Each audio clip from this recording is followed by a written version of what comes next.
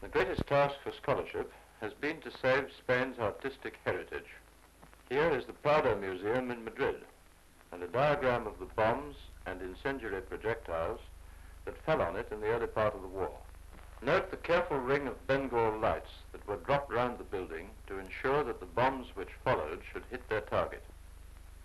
To destroy signifies brutality.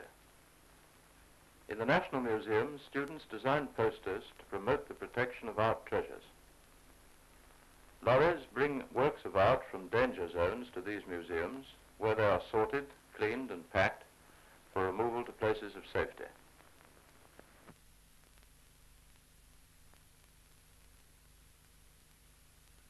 Many unknown masterpieces have been found by the experts in charge of this rescue work.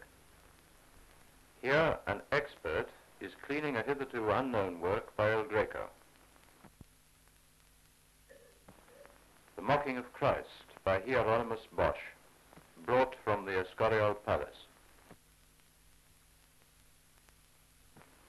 The Descent from the Cross, Van der Weyden's masterpiece, also from the Escorial, has already been cleaned and is now packed before being sent to Valencia, where its chances of survival are comparatively greater.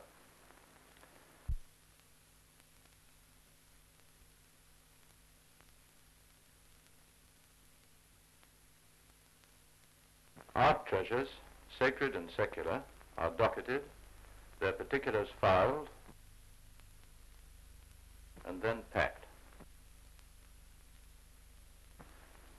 But for lack of transport, many thousands of art treasures must remain in Madrid.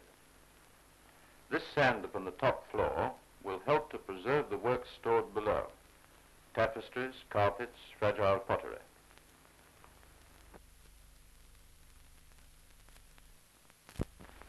Statues too large to move have shelters built round them. This one in Madrid is under construction.